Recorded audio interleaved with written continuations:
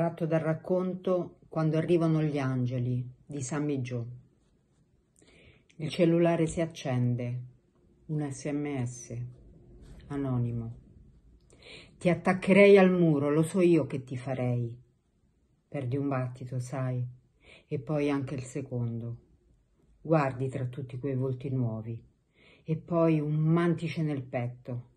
La testa corre, le gambe no L'emancipazione scende la scala delle priorità. Resta quella frase, ti attaccherei al muro, lo so io che ti farei. Uno scherzo del destino dopo anni passati a schivare carezze non richieste, mani sul sedere, ammiccamenti e porcate varie. Ora che il gioco era salito a un altro livello, torni in quella cantina. La puzza di muffa, le ombre, nelle mani un pezzo di carne che fai fatica ad identificare.